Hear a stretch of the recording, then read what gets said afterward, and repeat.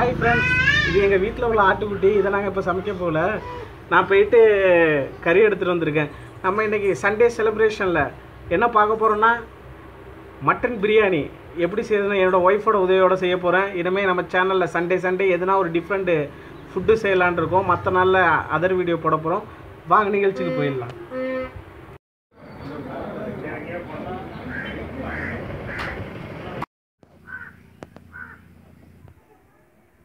My home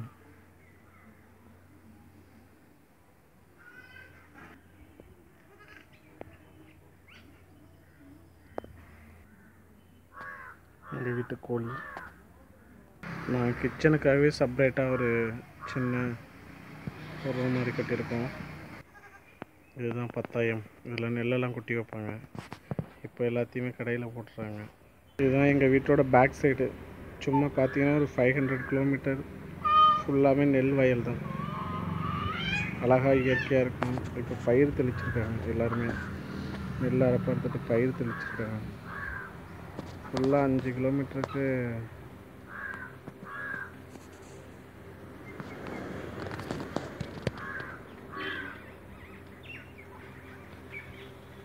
வீட்டு small சந்த்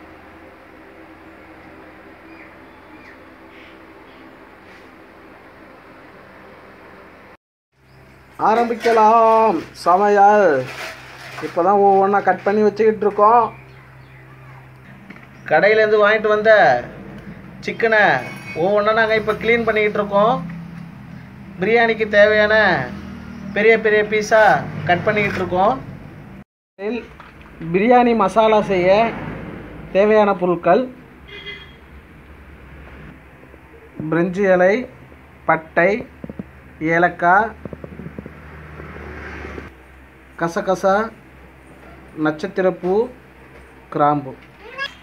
கடாயில் போட்டு நன்றாக வறுக்க வேண்டும். வறுத்த பிறகு மிக்சியில் நன்கு தூளாக அரைத்து கொள்ள வேண்டும். கடாயில் சோம்பு சீரகம் மல்லி மிளகு நன்கு வறுத்து கொள்ள வேண்டும். அதை தனியாக அரைத்து கொள்ள வேண்டும்.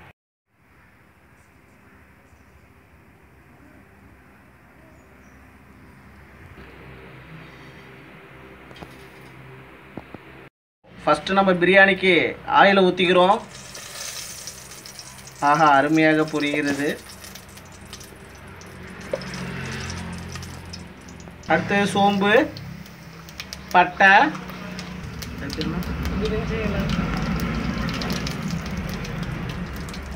நட்சத்திர. அடுத்து அடுத்து நட்சத்திர பூ போட்டாச்சு. அதுக்கு அடுத்து பார்த்தீங்கன்னா ஏலக்காய் போடுறோம்.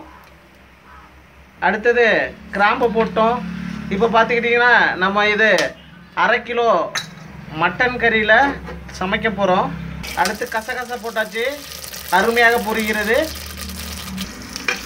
அடுத்து பச்சை மிளகாய் போட்டு நல்லா அடுத்து வெங்காயம் ஆனியன் அருமையாக போட்டாச்சு. ஆனியன் நல்லா ப்ரௌனாக வர வரையும் அதை நம்ம வதக்கணும். சீக்கிரம் ப்ரௌன் ஆகிறதுக்கு நம்ம உப்பு சால்ட்டு சேர்த்துக்கிட்டா சீக்கிரமாக ப்ரௌன் ஆகிடும் அடுத்தது நெய் ஊற்றிக்கிறோம்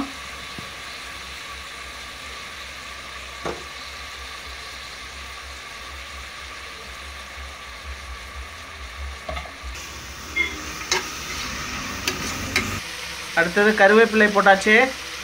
அதுக்கு அடுத்து அடுத்து கொத்தமல்லி போட்டாச்சு. நல்லா இப்போ பார்த்தீங்கன்னா நல்லா கிளறிக்கிட்டு இருக்கோம். அடுத்தது பார்த்தீங்கன்னா தக்காளி. ஆ, அருமையான ஒரு வாசம் வருகிறது.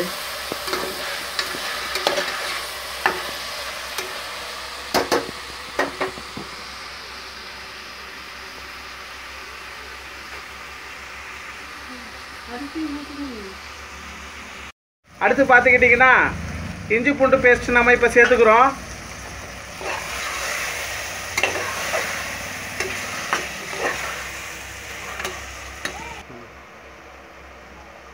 நாம் இப்போது அரைத்து வைத்த பிரியாணி மசாலாவை கொட்டி கொள்ள வேண்டும். ஆ, அருமையாக ஒரு வாசனை வருது.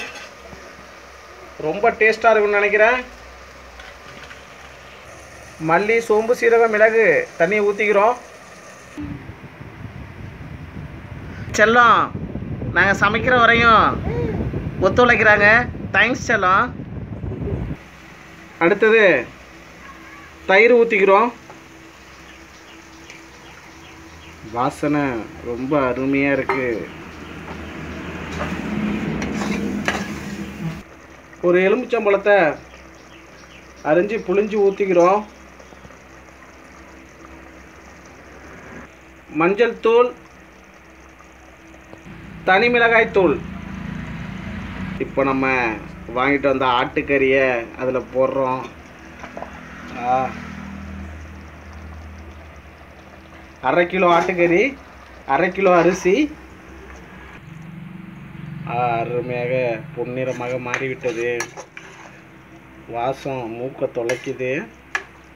கல் உப்பு தேவையான அளவு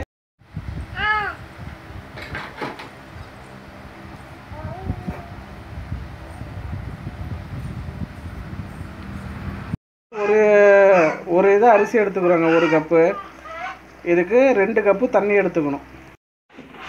நம்ம ரெடி பண்ணி வச்சுட்டோம். இதில் ரெண்டு கப்பு தண்ணி ஊற்றியாச்சு அதில் ஒரு கப்பு அரிசி போட போகிறோம் அந்த படியால். இப்போது இது ரெண்டு விசில் வச்சிடணும். அதுக்கப்புறம் ரெண்டு விசில் அடித்தோடனே நம்ம அரிசியை போட போகிறோம் இருக்க விடலாமா? ரெடி ஆகுதுமா பிரியாணி. எக் சைடிஷ் ரெண்டு ரெண்டு விசில் வந்தோடனே ஆஃப் பண்ணியாச்சு. இப்போ அடுத்து ரெண்டு படி தண்ணி ஊற்றுறதுக்கு ஒரு படி அரிசி போடுறோம்.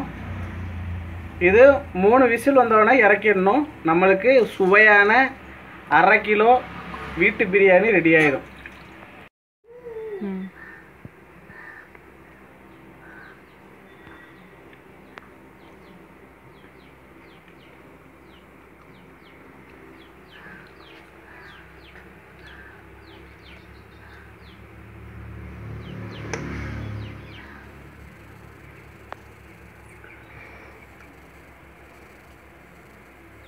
உண்மையாகவே செம்ம டேஸ்ட்டு செம்ம சூடு.